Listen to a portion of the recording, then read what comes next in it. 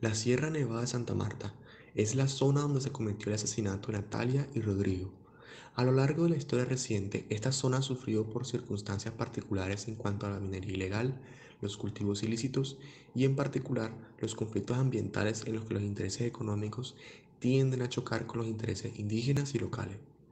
Natalia Jiménez y Rodrigo Monsalve eran una pareja, ambos nacidos en la ciudad de Bogotá, pero que vivían en Santa Marta, en el departamento del Magdalena. Natalia trabajaba allí como ecologista en la región y Rodrigo era un estudiante de antropología y un conocido DJ de la ciudad. La pareja se había casado una semana antes de su asesinato, aunque llevaban 15 años de relación. Su asesinato causó una gran conmoción a nivel nacional e incluso internacional.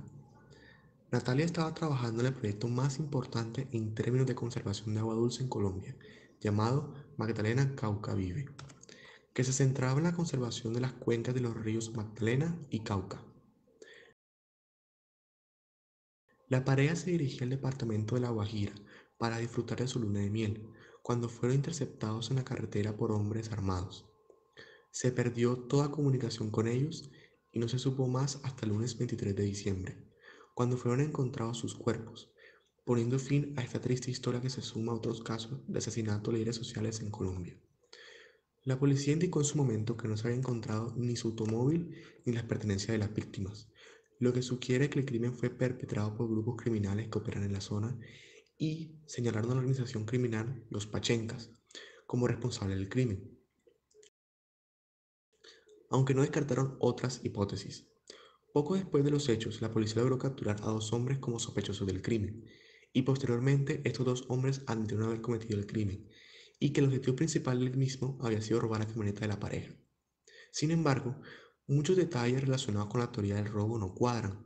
Rápidamente, estos dos fueron encontrados culpables y enviados a prisión, aunque muchas personas afirman que esta historia del robo no tiene sentido, ya que hay presencia sustancial de grupos ilegales en esa zona del país. La madre de Natalia declaró que, que creía que su hija había sido asesinada porque estaba ayudando a comunidades vulnerables de la zona. Trabajar como defensora de las comunidades o del medio ambiente es un trabajo peligroso en Colombia, y esta región no es diferente.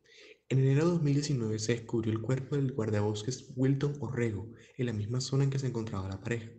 Y en abril de 2020, el líder de la comunidad y guía turístico Alejandro Ginás fue asesinado en las cercanías. Los pachencas o las autodefensas del conquistador de la Sierra Nevada, como ellos se identifican, reclamaron la responsabilidad de ese asesinato y que estos podrían haber sido los principales culpables del crimen de Natalia y Rodrigo.